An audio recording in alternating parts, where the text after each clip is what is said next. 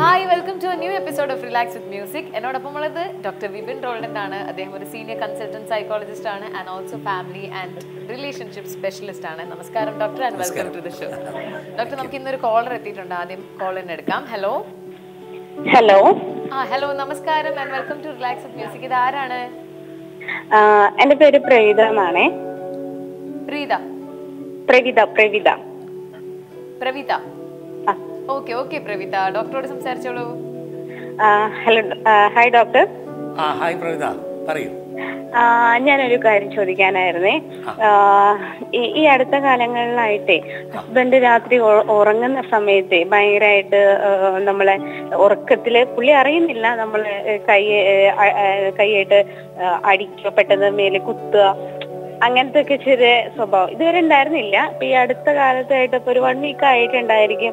Continuous ആയിട്ട് എന്തെങ്കിലും പുള്ളി അറിയുന്നേ ഇല്ല. രാവിലെ പറഞ്ഞു കഴിഞ്ഞാൽ ഏയ് ഞാൻ അങ്ങനൊന്നും ചെയ്തിട്ടില്ല. ഇനിയിപ്പോ ആ സമയത്ത് നമ്മൾ വിളിച്ചാൽ പോലും അറിയുന്നില്ല.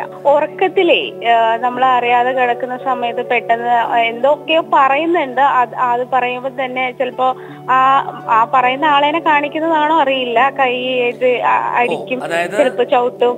അങ്ങനെ ചില ആളുകളുടെ പേരും കാര്യങ്ങളൊക്കെ പറയുന്നുണ്ട്. പേരല്ലേ എന്തൊക്കെയോ സംസാരിക്കുന്നുണ്ട്. അപ്പൊ നമ്മൾ വിളിച്ച് നമ്മൾ എഴുന്നേറ്റ് പെട്ടെന്ന് വിളിച്ചു കഴിഞ്ഞാലും പുള്ളി അത് അറിയുന്നില്ല. ഞാൻ ഞാൻ വിളിച്ചിട്ടുണ്ടെങ്കിലും ആ, ശരിക്കും ഓർക്കതൊന്നും പുറത്തേക്ക് വരത്തില്ല. ജസ്റ്റ് അവരുടെ അങ്ങ് വീണ്ടും ഉറങ്ങും. പക്ഷെ ഞാനിങ്ങനെ ചെയ്യുന്നുണ്ട്. എന്റെ ഭാഗത്ത് ഇങ്ങനെ ഒരു ഇത് പറ്റിയിട്ടുണ്ടെന്ന് പോലും അറിയുന്നില്ല. ഇപ്പൊ ഇതിന്റെ ഭാഗമായിട്ട് ഉറക്കത്തിൽ തന്നെ നമ്മൾ ഉറങ്ങി ഉറങ്ങിക്കിടക്കുമ്പോൾ നമുക്ക് കുറച്ച് ഇടിയും ചവിട്ടും കുത്തും ഒക്കെ കിട്ടുന്നുണ്ടോ ഇപ്പൊ? ആ ഒരു ആഴ്ചയായിട്ട് തുടങ്ങിയിട്ടുള്ളതാണ്. ഇതിന് മുന്നേ ഉണ്ടായിരുന്നില്ല. ഇപ്പൊ എനിക്ക് ഒരു ഡൗട്ട് ഇപ്പൊ ആളാണെച്ചെങ്കിൽ ഓഫീസിൽ നിന്നൊക്കെ പതിനൊന്ന് മണിയൊക്കെ വർക്കൊക്കെ കഴിഞ്ഞ് എത്തണം. അതിനൊക്കെ ശേഷമാണ് ഇപ്പൊ ഇങ്ങനത്തെ ഒരു ഇത് തുടങ്ങിയിട്ടുള്ളത്. ആൾ പൊതുവെ എങ്ങനെ സ്നേഹമുള്ള ആളാണോ? അത് നമുക്ക് പകൽ രണ്ടെണ്ണം തരണം എന്ന് ആഗ്രഹിക്കുന്ന അങ്ങനത്തെ എന്തെങ്കിലും പാവാണ് പാവാണ്. അങ്ങനത്തെ പ്രശ്നമൊന്നുമില്ല. അതിപ്പോ ഒരാഴ്ചയായിട്ട് തുടങ്ങിയിട്ടുള്ള ഒരു പ്രശ്നമാണ് ഉറക്കം നടിച്ചിട്ട് രാത്രിയിൽ മനഃപൂർവം എന്തോ പറ്റുന്ന അങ്ങനെ വല്ല സീനായിട്ട് തോന്നിയിട്ടുണ്ടോ? ഇല്ലല്ലോ? ഇല്ല അങ്ങനെയാണെങ്കിലും വിളിച്ചു കഴിഞ്ഞാലൊന്നും ഒരു ബോധമില്ലാതെ കിടന്ന് ഉറങ്ങുവാണ്. രാവിലെ ഞാനത് പറഞ്ഞാലും ഈ ഞാൻ അങ്ങനെയൊന്നും ചെയ്തിട്ടില്ല. അങ്ങനെ ഒരു സംഭവം നടക്കാത്ത ഭാവമാണേ. അതിപ്പോ മിക്ക ദിവസങ്ങളിലും ഉണ്ട്. പക്ഷെ എനിക്ക് തോന്നുന്നു ഈ ഓഫീസിൽ നിന്ന് ലേറ്റ് ആയിട്ട് ഇപ്പൊ ഒരാഴ്ചയോളമായി ഇങ്ങനെ വരാൻ തുടങ്ങിയിട്ട്. അപ്പൊ ആ സമയത്താണ് ഇങ്ങനത്തെ ഒരു ഇത് കാണുന്നത് ശരി അല്ല അപ്പൊ അതിൽ തന്നെ ഇതെല്ലാം തന്നെ ഒരു വഴക്കിന്റെ രീതിയിൽ തന്നെയാണ് ഈ ഉറക്കത്തിൽ ആൾ പ്രതികരിക്കുന്നതെല്ലാം? വഴക്ക് പോലെ തന്നെ. എന്തൊക്കെയോ സംസാരിക്കുന്നുണ്ട്. പക്ഷെ അത് നമുക്ക് കറക്റ്റ് ആയിട്ട് പറയുന്നുമില്ല. പക്ഷെ ഇങ്ങനെ നോക്കുമ്പോ ചുണ്ടൊക്കെ ഇങ്ങനെ ആക്ഷനും വരുന്നുണ്ട്. ഒരു സൂചന ഇത് മുൻപ് ഉണ്ടായിരുന്നില്ല ഓഫീസിൽ നിന്ന് വളരെ ലേറ്റ് ആയിട്ട് വരാൻ തുടങ്ങിയിട്ട് ഒരാഴ്ചയായി. ഈ ദിവസങ്ങളിൽ തന്നെയാണ് ഇത്തരത്തിലുള്ള ചില പ്രവണതകൾ കണ്ടു തുടങ്ങിയത്. കറക്റ്റ് ആണോ? അതെ അതെ അതെ അതെ അതെ. ഇപ്പോ അത് ഇൻ അതായത് ഇന്നലെയും ഇപ്പം സംസാരിക്കുമ്പോൾ ഇന്നലെയും മിനിങ്ങാന്നും ഒക്കെ ഇതുണ്ടോ?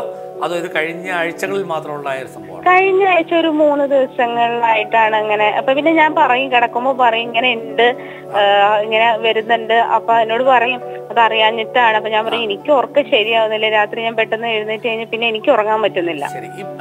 എന്തെങ്കിലുമൊക്കെ വിഷമങ്ങൾ ഉണ്ടെങ്കിൽ പൊതുവെ അതായത് ഇപ്പം ഓഫീസിൽ വർക്ക് ചെയ്യുന്ന മേലധികാരികളോ മറ്റെന്തെങ്കിലും കാര്യങ്ങളോ ഒക്കെ ഉണ്ടെങ്കിൽ അതെല്ലാം തുറന്ന് സാറേ അതെനിക്ക് ബുദ്ധിമുട്ടുണ്ട് ഇതെനിക്ക് പറ്റില്ല എന്ന് പറയുന്ന ആളാണോ?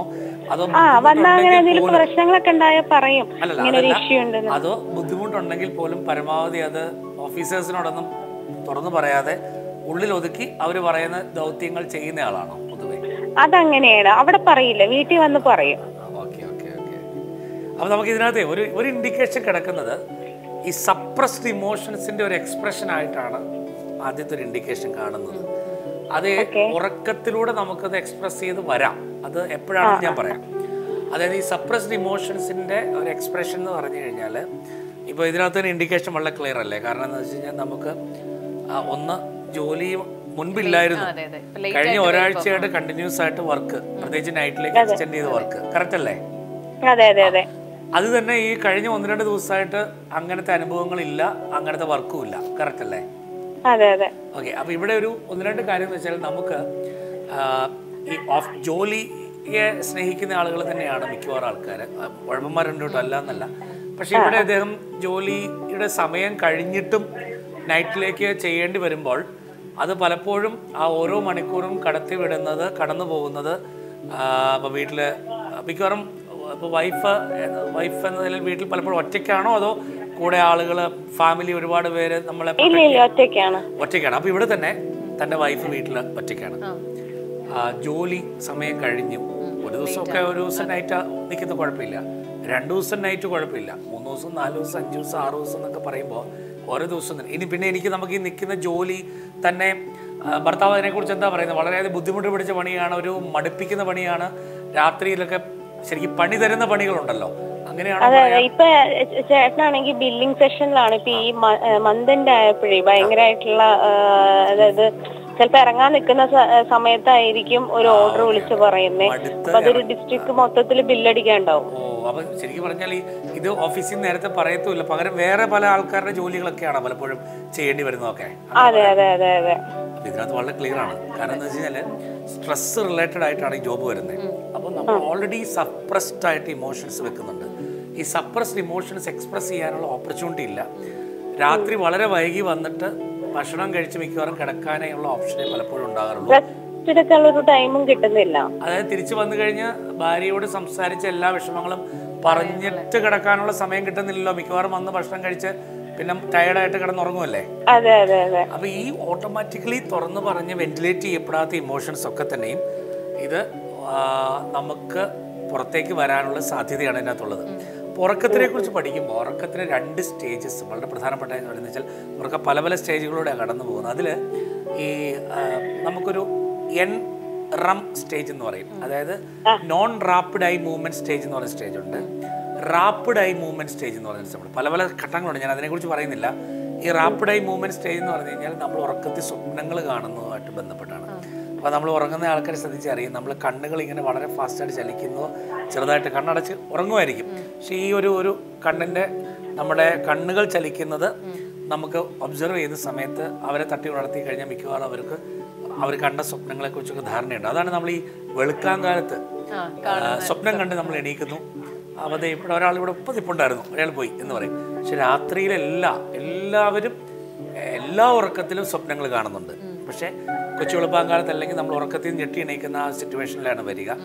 ഇവിടെ അതിന്റെ മറ്റൊരു എക്സ്പ്രഷനായിട്ടാണ് വരിക. കാരണം ഇത് ആരോടൊക്കെയുള്ള അസ്വസ്ഥതകളോ ഒരുപക്ഷെ സ്ട്രെസ് തന്നെയോ ആക്ഷനായിട്ട് ഫോം ചെയ്തിട്ട് തൊട്ടടുത്തിരിക്കുന്ന ആളിലേക്ക് അതൊരു ഭാര്യയാണെന്ന് അറിഞ്ഞിട്ടല്ല. അല്ലെങ്കിൽ ഭർത്താവാന്ന് അറിഞ്ഞിട്ടില്ല. പക്ഷെ തൊട്ടടുത്തിരിക്കുന്ന ആളിലേക്ക് അത് എക്സ്പ്രസ് ചെയ്ത് പോവുകയാണ്. പക്ഷെ ഈ ആളെ കുലുക്കി വിളിച്ചാലും അദ്ദേഹം ഡീപ്പ് സ്ലീപ്പിലായിരിക്കും അദ്ദേഹം എണീക്കുമ്പോൾ അത് അറിയണമെന്നില്ല. ചിലപ്പോൾ ആ ആക്ഷനൊക്കെ കഴിഞ്ഞ് കഴിഞ്ഞപ്പോൾ അയാൾ അതിൽ നിന്ന് അടുത്ത സ്റ്റേജിലേക്ക് പോയിട്ടുണ്ടാവും.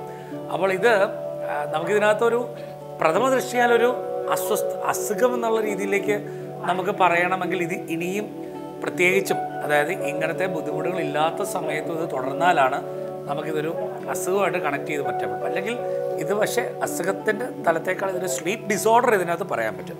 ഉറക്കവുമായിട്ട് ബന്ധപ്പെട്ട് ഉണ്ടാകുന്നൊരു ഡിസോർഡർ അപ്പോൾ ഉറക്കം ശരിയാകണമെങ്കിൽ ഉറക്കത്തിന് മുമ്പുള്ള നമ്മുടെ ജീവിതാവസ്ഥയും ശരിയാകേണ്ടതുണ്ട്. കമ്മ്യൂണിക്കേഷൻ കുറച്ചുകൂടെ ക്ലിയർ ആയാൽ അങ്ങനെ വരുമ്പോൾ ഇതിനകത്ത് രണ്ട് കാര്യങ്ങളാണ് അദ്ദേഹത്തിന് പറയേണ്ടത്. ഒന്ന് ഒന്ന് നമുക്ക് ഡെഫിനറ്റ്ലി ചില ജോലികൾക്ക് അങ്ങനെയാണ് പ്രത്യേകിച്ച് മാർച്ച് മാസം ഒന്നും പറയാൻ പറ്റില്ല. എങ്കിൽ പോലും മറ്റൊരാളുടെ വർക്ക് കണ്ടമാനം ഏറ്റെടുക്കുകയും അത് തലയിൽ കെട്ടി വെക്കപ്പെടുകയും ചെയ്യുന്ന മൂലം ഈ നനഞ്ഞിടം കൊഴിക്കുക എന്നൊക്കെ പറയുന്ന പോലെ ചെയ്യപ്പെടുന്ന രീതിയിലും ആവുകയും നോ പറയാൻ പ്രത്യേകിച്ച് നോ പറയാൻ കഴിവ് കുറവല്ലേ അദ്ദേഹത്തിന് അതെ ക്ലിയർ ആണ്? എല്ലാം ക്ലിയർ ആണ്. അപ്പോൾ ഞാൻ പറഞ്ഞ നോ പറയാനുള്ള ഒരു മടിയും കൂടി ഉണ്ടെങ്കിൽ ഇത് അസേർട്ടീവ് സ്കിൽസ് കുറവായിരിക്കും. പകരം പിന്നെ എന്തെങ്കിലും ദേഷ്യപ്പെടുന്നുണ്ടെങ്കിൽ വീട്ടിൽ വന്ന് ഭാര്യയോടെ ആയിരിക്കും. അതെ അത് നമ്മളെ അടുത്ത് വന്നിട്ട് സങ്കടമായിട്ടാ പറയാ. സങ്കടമായിട്ട് ദേഷ്യമായിട്ട് വരും.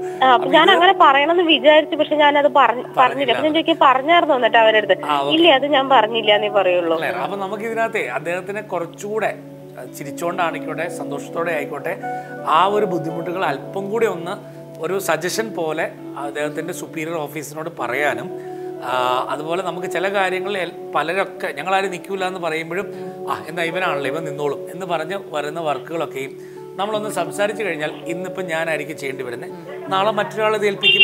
ഒരാൾ തന്നെ അങ്ങനെ കണ്ടിന്യൂസ് ആയിട്ട് ചെയ്യേണ്ട സാഹചര്യങ്ങൾ അയാളുടെ വർക്കും കൂടെ അല്ലെന്ന് ഓർക്കണം. ചെയ്യേണ്ട ഒരു സാഹചര്യങ്ങളില്ല. അപ്പോൾ അത് കുറച്ചുകൂടെ തുറന്ന് പറഞ്ഞ് നമുക്ക് തീരെ പറ്റുന്നില്ല റെസ്റ്റ് വേണ്ടതാണെങ്കിൽ പറയാൻ തക്ക രീതിയിൽ ആളുടെ പേഴ്സണാലിറ്റിയിൽ ഒന്ന് സപ്പോർട്ട് ചെയ്ത് കൊടുക്കുന്നത് നല്ലതായിരിക്കും. രണ്ട്. തിരിച്ചു വരുന്ന വഴിയിലോ?